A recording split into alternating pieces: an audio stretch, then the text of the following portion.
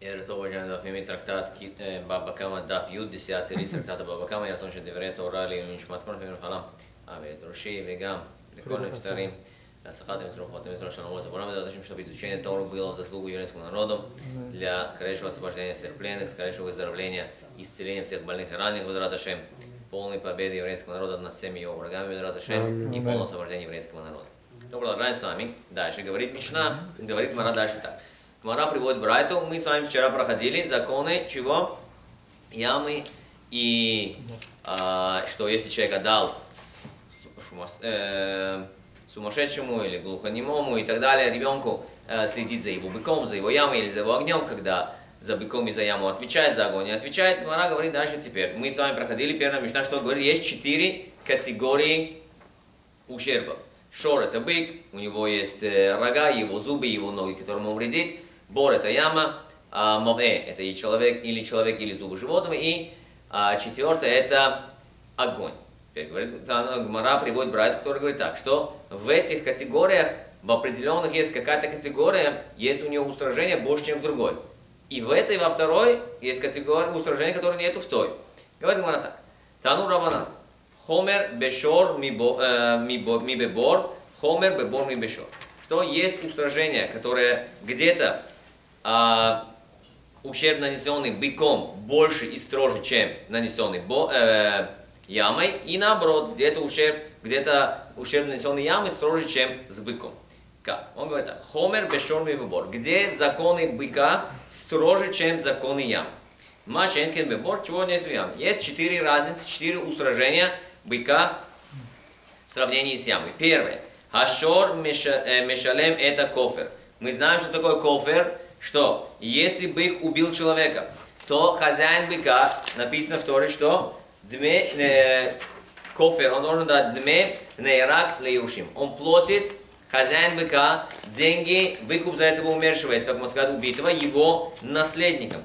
Кроме того, что этого быка убивает. Но если человек упал в яму и умер, то он должен будет заплатить за ущерб, он отвечает за это, но как бы там ни было, кофер, вот этот выкуп, он платить не должен. Кофер платится только, если бык забодал. Здесь имеется в виду в основном, что он забодал своими рогами. Второе. Второе устражение. Вехаяв бишлошим шел эвет. Если бык забодал раба, то тогда должен заплатить 30 монет, так как это стоимость любого врага. Дальше этот, этот, ра- этот раб стоит 1000 монет. Он самый лучший, я не знаю, архитектор или строитель, или кто там. И он стоит 5, 5 монет. Бык его забодал, хозяин быка должен заплатить. Кроме того, опять же, что быка убивает, бензин, забрасывает его камнями. Но если э, этот раб упал в яму и умер, то за него этот штраф не платится. Третье, где бык строже, чем яма, нигмар дино асурбиана. Быка, когда Бедин постановил, что его нужно забросать камнями, его забросали камнями, этим быком пользоваться нельзя, его мясо нельзя есть, и даже его до того, как забросали камнями, человек не имеет права, после того, как Бедин решил, что он, нужно его наказать смертью, не имеет права его зарезать, быстренько и продать. Этот бык запрещен, нужно его забросать камнями и похоронить. Но Соб- человек, который... Собакам тоже нельзя давать. Собакам никому нельзя давать. Человек, но человек, который упал в яму, и он там умер, эта яма не запрещается для пользования. Бык запрещается для пользования, но ямы не запрещается. И четвертое разрешение это веддарколе лехулазик, что бык, он, что он в отличие от ямы двигается. Он двигается и наносит ущерб. И он, у него больше возможностей, как по-английски называется more likely, что, э, что, скорее всего он нанесет ущерб больше, чем яма. Это где законы быка строже, чем законы ямы. Хомер ми бешор, но есть случаи, когда законы ямы, они строже, чем законы быка. Например, что? Первое. Шехабор техилат асиято ленезек. Как только яму э, выкопали, она уже сделана для того, чтобы наносить ущерб. Она вредноносная. Если ее не закрыли, за ней не, уха- не, не смотрели так, как надо. Но бык нет, бык нормальный бык. Если стоит, никого не трогает, нормальный бык. Вторая разница. Умуад михилато. Яма, как только туда упал бык и умер, скажем, то с первого же раза хозяин должен полностью заплатить за весь ущерб, который был нанесен этой ямой.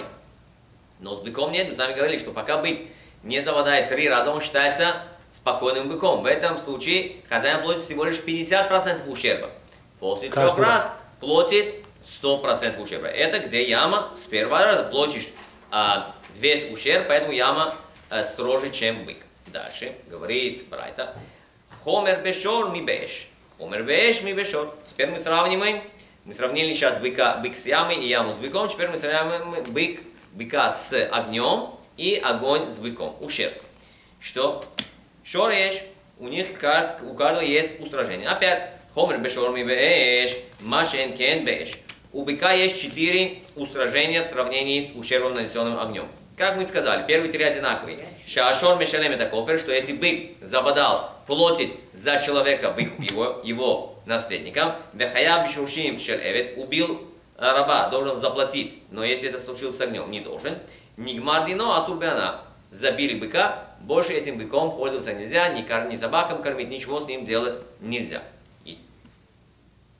Два. Два. И четвертое, масро лехереш шотеве катан хаяб что если, как мы сказали на предыдущем листе, человек передал охрану этого быка сумасшедшему, глухонемому или маленькому мальчику, которых по закону нету разума, нету разумения, и если этот, и этот бык навредил, хозяин этого быка виноват и должен будет заплатить. Но если он отдал огонь этим детям, как мы сказали, огонь имеется в виду уголек, который тлеет, он не горел, он э, разгорится только его раздуть, если тогда если из этот огонь, этот уголек нанесет ущерб, тогда хозяин отвечать не будет. Это то, что строгость быка по сравнению с огнем. Но, говорит Раши, спрашивает интересный вопрос. Человек сжег человека, что он не отвечает за него? Он говорит, если это огонь шел, шел постепенно, и человек видит, что идет огонь, огонь, в, отличие, в, в, в отличие от э, животных или от э, э, недвигающихся предметов, человек может убежать. Поэтому в этом случае он будет не виноват. А если, не дай Бог, этот человек был связан, и он сгорел из-за того, что кто-то что-то поджег, тогда тот, кто поджег, он виновен. В чем он виновен? Что он его убил? Наказание убийцы смерть. И как мы говорили, есть у него есть теперь здесь два наказания. Наказание за ущерб, который он нанес, и за смерть. Какое наказание мы даем? Мы даем ему одно наказание более строгое. Поэтому от ущерба, от денежного возмещения ущерба он освобожден. Хомер беэш ми бешор. Но у огня есть одно устражение, в отношении с быком. Что? Шаэш муэдет митхилата. Машен кен бешок. Мы сказали опять огонь, ущерб, который нанес огонь, который человек разжег, начинается сразу. С первого же раза должен заплатить полный ущерб. А бык только после третьего раза. До, до трех раз платит 50% ущерба. Дальше. Мара сравнивает хомер бебор ми беэш, хомер беэш ми бор. Сравнивает ущерб нанесенный ямой и огнем, или огнем и ямой, какие у них есть устражения. Хомер бебор меэш, машенкен беэш. Есть два устражения, которые относятся к яме больше, чем у огня. Шетхилат асиатоле незек. Как только яма, она была вырына, она уже считается вещью или ямой, да, которая наносит ущерб изначально. Но огонь, который зажгли, когда он наносит ущерб, когда он начинает двигаться, когда огонь передвигается, распространяется, тогда он наносит ущерб, но не сразу. Второе, то есть человек, который зажег огонь на своем поле, чтобы сжечь там сорняки, он ничего плохого не сделал. Но если он потом распространился дальше огонь на поле другого человека, тогда он будет отвечать. И второе, масроля херешу тебе катан хаяв. Мы сказали, если он передал эту яму для охраны сумасшедшему глухонемому или маленькому мальчику, это они не уследили, э, получился ущерб, хозяин платит. Но если отдал огонь, этим детям, мы сказали, это тлеющий уголек, тогда он от ущерба освобожден. И дальше хомер беэш ми бебор, машен кен бебор. Есть две, два, две стороны, где огонь, его закон строже, чем ущерб, нанесенный ямой. Первое, шаэш даркале лехур хазик, что огонь, как он э, вредит, наносит ущерб тем, что он передвигается. Яма же не передвигается. Яма стоит на одном месте. Поэтому огонь у него, как бы, опять же, он more likely. У него больше шансов нанести вред, чем у ямы. И вторая разница, у муэлет, у, у, муэлет лехоль, бен давар харауила, у бен давар шеэн рауила. Кроме этого, огонь пожирает все. Что, что он должен пожирать и то, что не должен. Что это то, что он пожирает? Он пожирает древесину, палки, доски. Это то, что мы бросаем в огонь, чтобы это давало тепло. Но кроме этого, чтобы в огонь не бросили, в принципе, все там сгорает. Это разница между ямой и огнем. Поэтому, но если, как мы сказали, в яму упало животное, и яма была 10 кулаков глубиной, и оно умерло, он отвечает. А если на этом животном еще была посуда, и она разбилась, хозяин ямы не отвечает. Но за то, что сжег огонь, он отвечает. Посуда, что бы там ни было, чтобы этот огонь не сжег, он отвечает. Она приводит, что на самом деле есть еще разные примеры, когда можно это привести. Раши говорит, интересно, он спрашивает вопрос, почему же Гмара не, не сравнивает еще один пример быка с ямой. Какой пример? Что у нас называется псулем мигдошим. Что это псулем мигдошим? Человек посвятил животное в бета-мигдаш. До того, как принесли это животное в жертву, это животное получило увечье. Теперь что происходит с этим животным? Его корбан приносить нельзя. Его выкупает тот, кто его выкупил, это его животное. Он может его зарезать, съесть и так далее. Но есть определенные ограничения. Он не может это животное скормить своим э, собакам. Или оно, если умерло, не имеет права им пользоваться. У этого животного есть определенный э, статус святости. Теперь, бык, который заводал вот это животное, хозяин быка должен платить за него или нет? Должен платить. Почему? Потому что сейчас человек, который выкупил это животное, это уже животное не бета-мигдаша. Если бы это было животное бета-мигдаша, мы сказали, мудрецы говорят, простой бык заводал животное бета-мигдаша, за него не платит. Но сейчас это шореу, это бык, который был выкуплен, и он бык простого человека. Другой бык его заводал, он должен. Но если этот бык упал в яму, тогда он освобожден. Почему? Потому что Тора говорит, тот, кто бык, который упал в яму, умер, там написано «Беашор ело», да, что бык будет его. Кого? Тот, кто упал в яму. Но проблема здесь, что мы сказали, что тушей этого быка нельзя пользоваться. Поэтому тот хозяин ямы будет от ущерба освобожден. От наказания за ущерб освобожден. Давай, рахамин. Три. Теперь. Тот, спрашивает, а почему мы не можем это выучить из человека, человек, который упал в яму и умер, что и написано в Амете Ело, и мертвый будет для него, что он освобожден. Почему? Потому что человек не имеет права пользоваться мертвецом. Человек, не дай Бог, умер, нельзя его от него какую-то выгоду получать. Но, говорит Освод, во-первых, почему мы это от человека не учим, а учит именно от животного, которое стало посуль с увечьем, которое было посвящено Бетамикдаш? Он говорит, два. Первый посуд говорит про быка, не про человека, который упал в яму и там умер. Второе, что если гой, или, или э, если раб, или гой, приобретенный евреем, кануй евреев, упали в эту яму и умерли, то их целом, целом мертвецов, от них можно получать выгоду. То есть запрещено пользоваться использовать целый еврей. Для чего это нужно? Равбади, Захрон Верха и Равбатион Башаул обсуждали такой вопрос на основании этой гмары. Что Тосуд говорит, что телами гоев можно пользоваться. Сегодня человек, который умирает, он, например, может пожить свою роговицу. Роговица, sclera of his eye.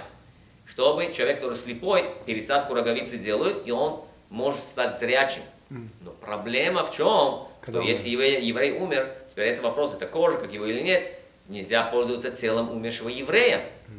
Поэтому вопрос, можно эту роговицу пере, пере, пересаживать от еврея или нет. С одной стороны, я не использую его обычным пользой, я никакого наслаждения не получаю, это как бы для пользы. С другой стороны, готов с евреем вопрос, но с Гоем, в принципе, можно, потому что целым Гоем можно пользоваться после смерти. Но Равадя приносит другой, а, мнение другого мудреца, а, который говорит, что у Гоя нехорошие злые глаза, грешные глаза. Так как мы сейчас еврею эти глаз, глаза перес, перес, э, пересадим, завтра придет Машех, как с такими нехорошими глазами этот еврей поднимется из могилы. Но как бы там ни было, в принципе, от Гоя можно будет эту э, роговицу, я думаю, это роговица, она так называется, которую переставить, можно будет ее переложить. Равкарев, э, Стайплер, я думаю, он спросил такой вопрос, а что если человек выкопил яму, глубиной 3-4 кулака, то есть здесь там нету, и, и разжег, разжег там огонь, и человек туда упал, или животное упало, что будет? Виноват или нет? В принципе, mm. может быть освобожден. Яма недостаточная глубина. Кроме того, огонь, чтобы он наносил ущерб, считался, нужно передвигаться. Здесь он не передвигается. Дальше. Мишна наша сказала, их шарти би микцат низко, хавти би тешлуме низко, кекшер коль низко. Что? Человек, который доделал что-то, немного он нанес ущерб, все равно, что ущерб полностью нанесен этим человеком. Кейцат, ахофер бор тиша, убо Ува ахер, вишлимо асара, ахрон хаяв. Человек выкопал яму глубиной в 9 кулаков. Пришел второй и выкопал, и выкопал всего лишь один кулак. И упал туда бык и умер. Кто виноват? Кто платит? Второй. Кто Потому что он доделал, он закончил. Интересно, он Вильна говорит, что все, то, что объясняет нам Гмара, все, все написано, есть намек в Торе. Мы с вами говорили, в Торе есть посуд, который говорит, что человек, который открыл яму, есть открыл там слово бор, яма написано с буквой вав. Мале, бет, вав, реш. Гематрия бет 2, вав это 6, сколько получилось? 8. Гематрия реш 200. Но если два нуля уберем, получается всего 2. 2 плюс 8 получается 10. Поэтому человек, который открыл яму глубиной в 10 кулаков, и кто-то туда- туда упал, тот, кто открыл, отвечает. Написано, акихрев иш, человек, который выкопал яму, там буквы вав нету. То не, не нужно, чтобы человек был виновным в ущербе, нанесенным ямой, чтобы он выкопал всю яму. Как мы видим в нашем случае. Он выкопал всего лишь один кулак, но этот кулак добавил, был добавлен к 9 кулакам, яма стала в 10 кулаков, последний виноват. Теперь, что-то мы сказали, теперь есть здесь спор. То, что касается, упал туда бык и умер, все согласны, что Ахарон Хаяв последний виноват, как объясняет Раши, детет фахим, эн бэм где лямо. Потому что, лями, Девять кулаков не могут убить животное. А что если животное упало туда, и там было 9 кулаков, и оно умерло? Значит, какой-то дефект был у него. Когда она падала, у него был сердечный приступ или инсульт. Я не знаю, что у этого животного было. Оно умерло не из-за того, что оно упало в яму. Была какая-то другая причина, которая, может быть, скомбинировалась в том, что э, животное упало в яму, и она умерла.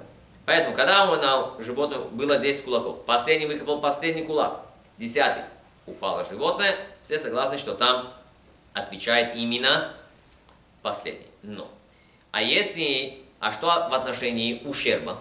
Что если животное не умерло, но пострадало, кто платит? Последний. Танакама говорит, Ахарон хаяв лимита улизакин. Последний отвечает, и за ущерб, сломала она там себе ногу, и за смерть. Но Раби говорит, нет. Ахар, Ахарон лимита, Ахашнем линзакин. Он говорит, нет. Последний отвечает, если корова там упала в эту яму и умерла. Но так как если бы она упала в, глу- в, в яму 9 кулаков, она бы сломала ногу. Она бы сломала ногу. Кто первый открыл? Да, она может пострадать, она не умрет. Может и нет. Может и нет. Но так как Рэби говорит, что так как она могла получить, э, пострадать и яме до 9 кулаков, поэтому хозяин коровы это будет уже охотиться за двумя. И, те, кто, и тот, за тем, кто вы, вы- выкопал 9, и тот, кто добавил последний кулак. Дальше Гмара приводит еще несколько пример, примеров, говорит, который, почему э, а, не включены эти примеры в того, что как человек немного добавил и отвечает за все. И приводит такие пару примеров, приведем, но которые на самом деле не работают. Давай, Амин. Четыре. Четыре. Говорит Гмара так. Пять человеков следили за быком. Бык был такой, что для того, чтобы его охранять, нужно пять человек. Один ушел.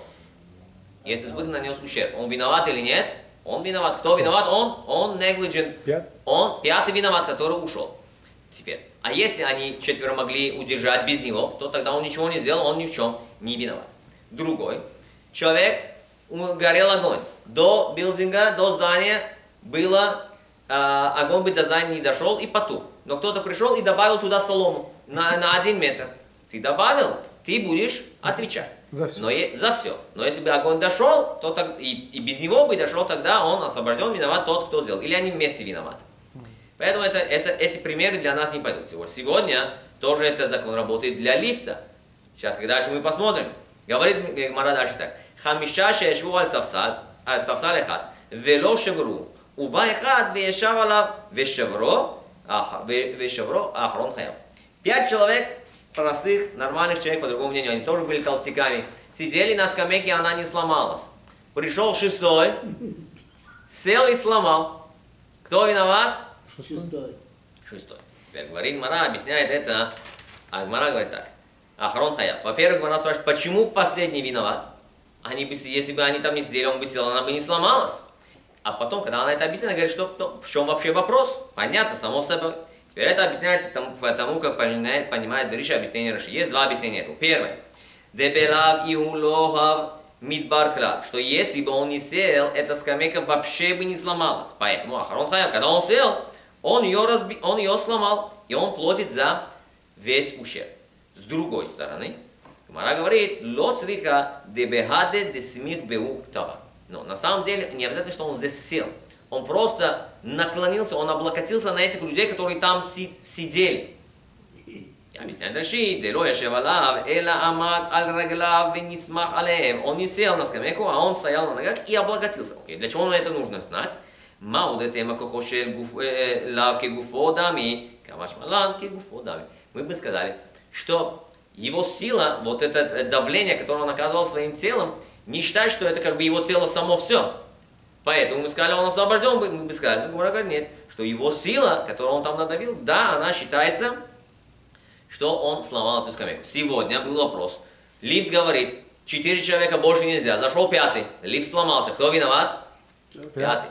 А если с другой стороны, с другой стороны говорят, что не обязательно, что пятый виноват, а виноват тот, кто нажал кнопку. Потому что тогда лифт начал двигаться и сломался. Кроме этого, в законах шаббата это тоже есть. Например, лифт, который ездит на шаббат, на шаббат лифт, чем больше там людей сидят, э, стоят, тем больше он затрагивает энергии. Интересно, я однажды прочитал, что когда больше проблема ехать на лифте? Сверху вниз или снизу вверх? Снизу вверх. Кажется, снизу вверх. Почему нужно больше энергии? На самом деле наоборот. Когда человек едет сверху вниз, лифт затрачивает, затрачивает больше энергии, чтобы вот это равновесие удержать, чтобы лифт вниз не полетел с этим человеком. Поэтому там есть интересный институт, а, связанный с иудаизмом, там они это написали. Целая книга есть интересная. Поэтому, кроме этого, был случай у Стаплерга, он, он пригласил однажды одного адмора, большого хасидского рабина, они, он пришел со своими учениками, эти ученики там сделали балаган, пару стульев поломали, пару скамеек поломали. Ученики Стайпера сказали, слушайте, пожалуйста, надо их судить, они должны заплатить за ущерб. Он говорит, нет. Когда ты приглашаешь таких людей, ты должен принимать в расчет, что что-то может сломаться. Это очень много людей, и они обычно группами ходят, что-то может сломаться, поэтому я их судить не должен. С другой стороны, человек приходит, пришел большой равен, человек хотят все на него люди посмотреть. Разрешается на стуле сидеть. Но не разрешается на стуле стоять, человек хочет быть выше всех и залез на стул, сломал стул, будешь отвечать, будешь за него платить, ты его сломал, ты будешь платить, тебе за нем, на нем стоять не разрешали. Дальше, это одно объяснение. Второе объяснение говорит так. Деберавиу хаве мидбар битрешай. Вехашта идбар бехадыша. Второе объяснение, почему этот толстяк виноват, потому что без него эта скамейка бы, если бы они сидели на этой скамейке, она бы тоже сломалась, но только через два часа. А так как он сел, она сломалась уже через час. А Харон Хаяв последний виноват. Почему? Переел. Но, говорит Мара, дамреле илав а давеет винан, тефе пута, векаминан. И они, ему сказать, слушай, если бы ты не сел, мы бы встали, она бы не сломалась. Так как ты сел, она сломалась. Но, но он не может им сказать, слушайте, вы же видели, что я пришел? Ила атум бедидела хаву мидбар. Если бы вас не было со мной, она бы не сломалась, что? Вы видели? Раши говорит, он не может сказать, а я лахим ламот. Я пришел, вы должны были встать. Видите же, какой большой дядя. Почему вы не встали? Вы тоже виноваты. Но так, говорит Раши, не работает. Лот риха де зага мизга. Что? Говорит э, по, по тому, как, э, по герца, по этому варианту, который имеет у нас Раши, что, как мы сказали, что здесь он тоже, на самом деле, когда он сел на эту скамейку, он на них облокотился, и он не дал им встать. Поэтому мы говорим, ма детема лав кигуфо дами, кавашма кихо кигуфо дами. Мы опять сказали, что то, что он предотвращает, не дает им встать своей силой, своим весом, это не считается, что он сам как будто сидит, мы говорим все, все равно его сила, которую он надавливает, считается, что он сам именно этим и повредил, и будет отвечать за все. Давай, Рахам, дальше. Пять. Пять. А, пять. Пять, четыре. Четыре, я думаю. Нет, пять. Пять. Окей. А, даже говорит так. Можно приводить такой пример. Десять человек забили одного человека на смерть, не дай бог. Теперь и каждый из них, в принципе, у него была бита, которую он сам мог его убить. Виноват или не виноват, ни один из них не виноват. Почему? То есть каждый патур, они виноваты, но на земле их наказать нельзя. Почему? Как объясняет Раши, потому что мы не знаем на самом деле, кто убил. Но Раби Уда бен Бетера говорит, что пос... е... теперь Танакама говорит, что неважно, они били его одновременно или друг за другом. Но Раби Юда Бетера говорит, нет, пос... если они били его, били его друг за другом, то последний будет виноват. Почему? Потому что даже если он умирал от предыдущих ударов, этот последний приблизил его смерть, он ускорил его смерть. И сегодня вопрос такой, Рахамим. Человек, ему нужно сделать операцию, не дай бог. И доктор говорит, шанс, что операция будет удачная 60-70%. 30-40%, что человек может умереть, не дай бог. Можно ему операцию делать или нет? Да. Теперь закон такой. Если он так и так умрет без этой операции, то тогда ему операцию можно делать. Но если он не умрет, он с операцией А. будет жить, но он будет мучиться, не дай бог, нельзя ему делать операцию, потому что когда мы делаем операцию, мы сейчас ускоряем, возможно, ускоряем его смерть. Как здесь, в этом случае. Дальше говорит Мара. Хати битешлумениско. Гмара объясняет то, что сказала Мишна, что я э, хавти бетешлумениско, я должен заплатить за ущерб. Доплатить. Ну, да, на прав- правильно перевести будет, получается, доплатить. Что? Он говорит, я не, то, что здесь написано в Мишне, хавти бетешлумениско, я не, когда я нанес ущерб, я не должен то, что я испортил, привести в, в первое состояние. Я должен за это заплатить. Меламед шебеалим метаплим беневера. Теперь что говорится?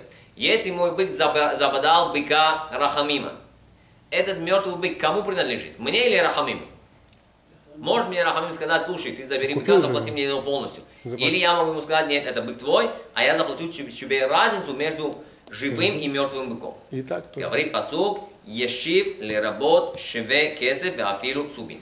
Мы сказали, что, во-первых, человек может сказать, то, что написано в Торе, вернет он ешив, то я могу заплатить ему или деньгами, или любой вещь, которая стоит деньги. Поэтому даже если я скажу, что мой бык забодал, и этот мертвый бык принадлежит мне, я скажу, слушай, я могу тебе заплатить отрубами, отрубями. Туалетную бумагу я тебе заплатить. Вот возьми этого быка, это часть того, что я должен тебе заплатить. И раз я заплачу, поэтому по закону бык принадлежит хозяину. Он получает его. Лони среха эля лефахот невера. Для чего нам это нужно э, знать, что принадлежит хозяину? Это то же самое сегодня закон. Машина до аварии стоила 10 тысяч долларов. После аварии она стала, стала стоить 1000 долларов. Сколько тот, кто нанес ущерб, должен заплатить? Кто будет эту машину, машину потом чинить? Хозяин. Он должен заплатить 9 тысяч. И здесь живой бык стоит 1000 долларов, мертвый стоит 100 долларов. Я говорю, вот 100 долларов у тебя уже есть, мертвый твой бык, я тебе должен заплатить 900 долларов. Для чего мне это нужно знать? Для того, чтобы пока Бедин решал, этот бык протух. И он стоил 100 долларов, а сейчас стал стоить 50 долларов через неделю, когда Бедин решил. Кто теряет 50 долларов? Хозяин Хозяин. быка, которого забодали, или тот, чей бык забодал, хозяин. Ты знал, что он твой, ты должен был побеспокоиться сразу, чтобы он не потерял своей цене. И говорит, говорит Гмара, откуда мы это знаем? Гмара приводит, что Абиалим это Плим Бенвера три посука. Первый посук говорит так. Макеневич Бейма есть шальмена. Человек, который убил животное, заплатит. Говорит Гмара, аль тикре ешальмена, эла яшлимена. Не читай заплатит, а читай дополнить. Что дополнить? Стоил бы 1000 долларов. Умер, стал стоить 100, дополнить 900. Второй посук, который говорит, этот посук был, как мы сказали, когда один был убил, бык убил другого быка. Следующий посук говорит, шумер сахар. Человек, который охранял за деньги. Ему платили за то, чтобы он смотрел. Пикадон дали ему э, животное в залог. Смотреть за ним.